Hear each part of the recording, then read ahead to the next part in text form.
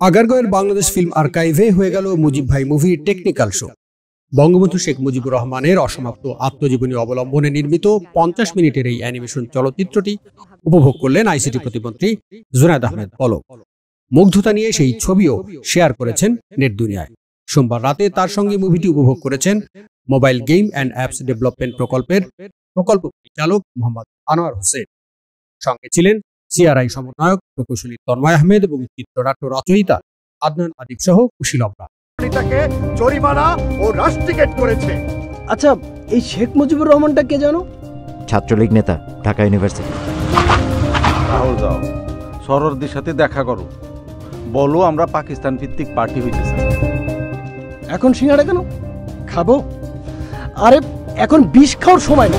এ মাসের শেষ দিকেই মুভিটি সিনেমা হলে মুক্তি দেওয়া হবে বলে প্রত্যাশা করছেন সংশ্লিষ্টরা। তবে তার আগেই সিনেমার কয়েকটা স্পেশাল গান নেট দুনিয়ায় প্রকাশ করা হবে বলে জানিয়েছেন মুভির দায়িত্বে থাকা প্রোল্যান্সার স্টুডিওর সিও সোহেল মোহাম্মদ রানা। মুভিটি বাংলা অ্যানিমেশন জগতে নতুন মাত্রা যোগ করবে বলে আশাবাদ ব্যক্ত করেছেন এই নির্মাতা। এটা সাধারণ কেউ না যে চাইলাম আর ফাঁসি দিয়ে দিলাম। এরপর জনতা বাড়ি ফিরে বঙ্গবন্ধুকে নিয়ে প্রথম পূর্ণদৈর্ঘ্য দ্বিমাত্রিক মুভি মুজিব আমার পিতাও পরিচালনা করেছেন তিনি।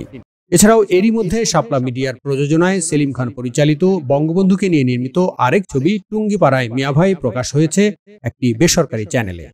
বঙ্গবন্ধুর ছেলেবেলা নিয়ে সরকারি অনুদানে টুঙ্গিপাড়ার দুঃসাহসী খোকা মুভি বানাচ্ছেন মুশফিকুর রহমান গুলজার।